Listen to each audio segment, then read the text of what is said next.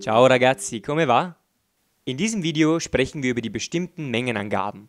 Le quantità. Nach bestimmten Mengenbezeichnungen steht vor dem folgenden Nomen die Präposition die. Ich vergleiche das immer ganz gerne mit dem englischen a glass of wine, a piece of cake. Dieses of wäre im Prinzip das die im Italienischen. Sehen wir uns einige bestimmte Mengenangaben an. Un Kilo di arance, ein Kilo Orangen. Mezzo Kilo di Mele, ein halbes Kilo Äpfel. Mezzo steht immer ohne Artikel. Un etto di Salame, 100 Gramm Salami. Das heißt, un etto entspricht 100 Grammi. Due etti di prosciutto, 200 Gramm Schinken. Due etti entspricht 200 Grammi. Un bicchiere di vino, ein Glas Wein. Una bottiglia d'acqua, eine Flasche Wasser. Un po' di basilico, ein bisschen Basilikum. Un milione di euro, eine Million Euro. Una tazza di caffè, eine Tasse Kaffee. Un pacchetto di sale, eine Packung Salz.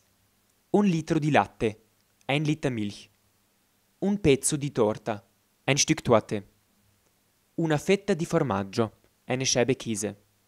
Una scatola di cioccolatini, eine Schachtel Pralinen. Das heißt, immer dann, wenn ihr eine bestimmte Mengenangabe, so als wie eine Tasse, ein Kilo, eine Schachtel, eine Scheibe, ein Stück, ein Liter etc. habt, dann braucht ihr immer die Mengenangabe plus die. Noch einmal nota bene. Bei unbestimmten Mengenangaben steht der Teilungsartikel. Den Teilungsartikel habe ich im letzten Video besprochen. Falls ihr das Video noch nicht gesehen habt, findet ihr den Link in der Videobeschreibung. So etwas wie del latte, dei pomodori, dell'olio. Das heißt, wenn man eine Menge nicht zählen kann. Bei bestimmten Mengenangaben, sowas wie un Kilo, un etto etc., steht die Präposition di und wird nicht verschmolzen. Zum Beispiel un litro di latte, un Kilo di pomodori, una bottiglia d'olio. Also unbestimmte Mengen, Teilungsartikel, bestimmte Mengen, die.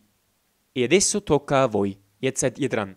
Hierbei sollt ihr die folgenden Wortpaare übersetzen. Falls ihr noch Fragen habt oder etwas unklar ist, könnt ihr gerne einen Kommentar hinterlassen. Wir sehen uns im nächsten Video. Arrivederci.